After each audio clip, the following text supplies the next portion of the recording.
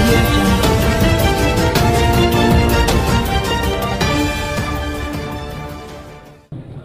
వేదిక మీద ఉన్న పెద్దలకి ఎస్పెషల్లీ సుబ్రహ్మరెడ్డి గారికి ఇంత ఈ ఫంక్షనే కాదు ప్రతి ఫంక్షన్ సినిమా ఇండస్ట్రీ జరిగితే సుబ్రహ్మరెడ్డి గారిని ఆలోచించకుండా చేయలేం.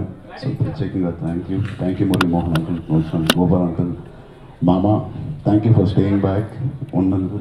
అండ్ వినయ్ గారు థ్యాంక్ యూ థ్యాంక్ యూ బాబాయ్ థ్యాంక్ యూ ఫర్ కమింగ్ అలాగే వచ్చిన మీడియా మిత్రులకి అందరికీ ధన్యవాదాలు. ఇది ఎలా మొదలు పెట్టాలో తెలియట్లేదు. చాలా ఎమోషనల్ ఈవినింగ్ ఇది నాకు. నాకు తెలిసింది ఆయన గురించి చాలా అనుకున్నాను కానీ తెలిసింది కొంతే అని నాకు ఇవాళ తెలిసింది. ఈ బుక్ ద్వారా ఖచ్చితంగా మా నాన్నగారికి ఇంకా అతి దగ్గర అవుతానని నేను చాలా గట్టిగా భావిస్తున్నాను. సో ఈ అవకాశం మా బ్లడ్ బ్రదర్స్ మా ఫ్యాన్స్కి నాకు ఇచ్చిన వినాయకరావు గారికి మనస్ఫూర్తిగా మా కుటుంబ సభ్యుల నుంచి మా ఫ్యాన్స్ నుంచి నా తరఫు నుంచి ప్రత్యేకంగా రుణపడి ఉంటాం థ్యాంక్ యూ మీ హోల్ ఫ్యామిలీకి మీ ప్రయత్నానికి మీరు రుణపడి ఉంటాం థ్యాంక్ యూ సో మచ్ అలాగే ఇది ఎందుకు నాకు ఒక ముఖ్యమైన బుక్ లేకపోతే మా తరం వాళ్ళకి ఎంత ముఖ్యమంటే నేను బహుశా ట్వంటీ వన్లో స్టార్ట్ చేశాను. దానికి ముందు ఏదో ఆడుకునే వాళ్ళం స్కూల్కి వెళ్దాం ఈ గోళ తప్ప మా నాన్నగారిని సిక్స్ సెవెన్ తర్వాత ఆయన ప్యాకప్ అయ్యి ఇంటికి వచ్చినప్పుడు మాకు ఆయన గడపడం తప్ప ఆయన సినిమాలు ఏంటి ఆయన ఏం సీన్స్ చేశారు ఎంత కష్టపడారు ఇవన్నీ చూసే అవకాశం మాకు దొరికేది కాదు. మేము లెగిసే ముందే ఆయన బహుశా సినిమా షూటింగ్ వెళ్ళిపోయేవారు.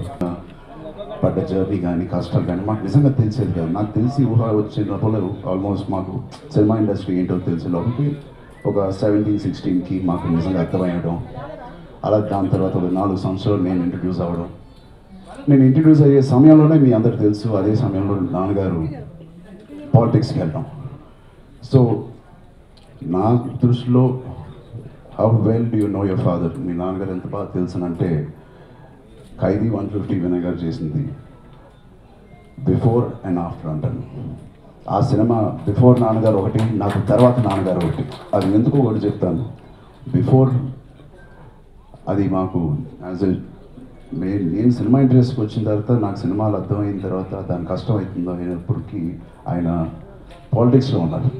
సో ఆయన పట్టిన కష్టాలన్నీ మేము కల్లారా చూడలేకపోయినా అది ఎక్స్పీరియన్స్ చేయడానికి మళ్ళీ ఆయనతో డిస్కస్ చేయడానికి ఆయన సినిమాలో లేవు సో ఖైదీతో నేను ఆయనతో అది ఎందుకు ఒక లక్కీగా భావిస్తానంటే ఇలా అదృష్టంగా భావిస్తాను దేవుడు ఇచ్చిన అదృష్టం. ఆయన మళ్ళీ నాకు ఒక కొత్త కోణంలో అర్థమయ్యారు. ఎంతమంది చెప్పినా ఆ అరవింద్ గారు చెప్పినా నాకు మామ చెప్పిన అమ్మ చెప్పిన లైక్ సుబ్రహ్మ రెడ్డి గారు కానీ రాఘవేంద్ర గారి సెట్లోకి వెళ్ళినప్పుడు కానీ గోపాల్ గారి సెట్ ఇవన్నీ మేము చూసిన ఎవరి చేతులు వాళ్ళు కాల్చుకుంటేనే వాళ్ళకి అర్థమవుతుంటారు ఒక సామెత. అలాగా ఎవరైనా వాళ్ళ ఎక్స్పీరియన్స్ వాళ్ళు వాళ్ళ ఎక్స్పీరియన్స్ చేస్తే కానీ మాకు అది అర్థం కాదు. ఖైదీ నెంబర్ వన్ ఫిఫ్టీకి నేను బహుశా ఆయన సిక్స్టీ ప్లస్ అండ్ ఇది. ఆయన ఆ వయసులో ఆయన ఫైవ్ ఓ క్లాక్ లేచి సిక్స్ వరకు వర్కౌట్ చేసి సిక్స్ థర్టీకి రెడీ అయ్యి సిక్స్ ఫార్టీ ఫైవ్ కార్లో ఉండి సెవెన్ ఫిఫ్టీన్కి లొకేషన్లో ఉండి సెవెన్ థర్టీకి ఫస్ట్ షాట్ వినయ్ గారు తీసేవారు. ఇది ఆల్మోస్ట్ ఎన్ని రోజులు తీస్తే? నలభై ఎనభై రోజులు వంద రోజులు తీస్తే అలాగే చేశారు. సో బహుశా ఇది మొదటి సినిమా కదా తర్వాత ఉత్సాహం చేస్తున్నారేమో అనుకున్నాను. బికాజ్ నేను మొదటిసారి ఆయన్ని minute to minute second to second ఆయన్ని ఫాలో అయ్యి చేసిన ఒక సినిమా. ఎలాగైతే వీళ్ళందరూ ఫార్టీ ఇయర్స్గా ఆయన్ని అబ్జర్వ్ చేశారో ఆ ఒక్క సినిమాతో నేను ఆయన అంత దగ్గరగా ఒక నలభై రోజులు ఆయన ఎంత కష్టపడ్డారో ఇవాళ బహుశా నాకు ఒక నేను ఫ్రాంక్గా చెప్తాను నాకు ఇవాళ అవకాశం ఉంటే ఒక గంట లేట్గా రమ్మంటారా? డైరెక్టర్ అని ఒక ఆశపడుతూ ఉంటాను గంట ఎర్లీగా రావచ్చా అనేది ఆయన ఆలోచిస్తుంటారు అది చిరంజీవి గారు బట్ అది మొదటి సినిమాకే అంత ఉత్సాహం అంటే కాదు. మొదటి సినిమా ఏంటి సైరా. ఇప్పటికీ నేను సైరాకి ఎంతో ఖర్చు పెట్టి ఆయనకి నేను రెమ్యునరేషన్ ఇవ్వలేని పరిస్థితుల్లో నేను ఆ సినిమా చేశాను. ఏ ఒక్కరోజు అలాగా ఫీల్ అవ్వకుండా నన్ను ఫీల్ అవ్వనివ్వకుండా ఆయన ఫీల్ అయితే ఆయన ఏదైనా అలాగా టైట్ అయితే మా హోల్ టీం కూడా అలా డౌన్ అయిపోతాం అనే ఒక భయంతో two hundred and fifty days ఎన్ని రోజులు అయితే తీసాం ఆ సినిమా? మూడు సంవత్సరాలు రెండున్నర సంవత్సరాలు. మా అందరికీ ఎనర్జీ ఆ సినిమా ఇచ్చిన ఆ సినిమా తీసేటప్పుడు ఆయన ఇచ్చిన ఎనర్జీ మామూలు ఎనర్జీ కాదు. Two hundred and fifty days sixty four వయసులో ఒక్క రూపాయి రెమ్యునరేషన్ కూడా తీసుకోకుండా ప్రాఫిట్లు వచ్చిన తర్వాత చూద్దాం చరణ్ అని చెప్పి పనిచేసి మమ్మల్ని అందరినీ ఉత్సాహపరిచి ముందుకు జరిపిన చరణ్ గారికి మా నాన్నగారికి మనస్ఫూర్తిగా ఇవాళ నేను ధన్యవాదాలు తెలుపుతున్నాను. ఎన్నో విషయాలు మీరు లేకపోతే మేము లేము నిజంగా మీరు లేకపోతే మేము సైరా తీయలేము అదొక అదొక నేను మాటలో నేను చెప్పలేను ఒక నేను ఒక ఎక్స్పీరియన్స్ అది. ఏమి ఇవ్వలేము ఆయనకి.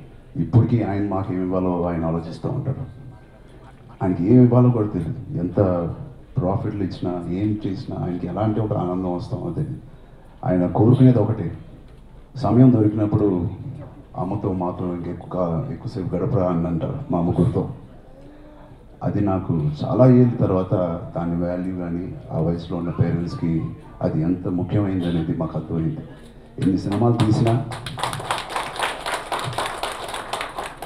ఇంకా దానికి మించి పేరెంట్స్ అనేవాళ్ళు ఏం కోరుకోరు.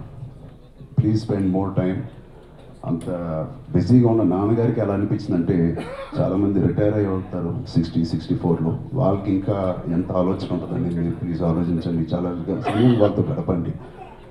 థ్యాంక్ యూ థ్యాంక్ యూ అలాగే ప్రభు గారి గురించి చెప్పాలంటే వినాయకరావు గారు లాగా ఎంతోమంది జర్నలిస్టులకి నేను ఉన్నానని ముందుకు అందరినీ కలుపుకుంటూ మాతో కలపడానికి ఒక అవకాశం ఇస్తూ ఇలాంటి ప్రోగ్రామ్స్ ఇస్తున్న ప్రభు గారికి మిగతా సీనియర్ జర్నలిస్టులకి జర్నలిజంకి ఒక మర్యాదగా మర్యాద తీసుకొచ్చిన వినాయకరావు గారు లాంటి వాళ్ళకి. ఈ ఈ బుక్ ఎంత ముఖ్యమైనదో నాకు తెలిసింది ఈ బుక్ గురించి చదివేటప్పుడు కానీ తెలుసుకునేటప్పుడు వినాయక్ గారి గురించి నేను ఇంకా ఎక్కువ నేర్చుకోవడం జరిగింది. పది సంవత్సరాలు ఈనాడులు పదిహేను సంవత్సరాల పైన ఆంధ్రజ్యోతిలో ఇంకా మిగతా పత్రికలో మిగతా సినిమా పత్రికలో అలాగే ఒక నైన్ బుక్స్ రాయడం ఎన్టీఆర్ గారి మీద రెండు బుక్స్ కృష్ణ గారి మీద నిర్మలమ్మ గారి మీద దాసనారాయణరావు గారి మీద అలాగే నాన్నగారి మీద. ఇది ఒక మా సినిమా ఇండస్ట్రీ ఎవరైనా మీడియా వాళ్ళు పెద్ద ప్రేమించరు వాటి వీటికి రాస్తారంటే నేను అస్సలు ఒప్పుకోను. ప్రత్యేకమైన ఎగ్జాంపుల్స్ ఉన్నారు సో మీడియా వాళ్ళందరికీ ఒక ఎగ్జాంపుల్గా ఒక ఒక మీడియాలో ఒక మెగాస్టార్గా మీరు అందరూ ఉండాలని నేను మనస్ఫూర్తిగా కోరుకుంటున్నాను. ఇట్స్ వెరీ ఇన్స్పైరింగ్ ఏంటండి? వీడియో నచ్చిందా? అయితే ఓ లైక్ వేసుకోండి. లేదంటే ఓ కామెంట్ చేయండి. ఎప్పటికప్పుడు మా వీడియోస్ చూడాలంటే సబ్స్క్రైబ్ చేసుకోండి.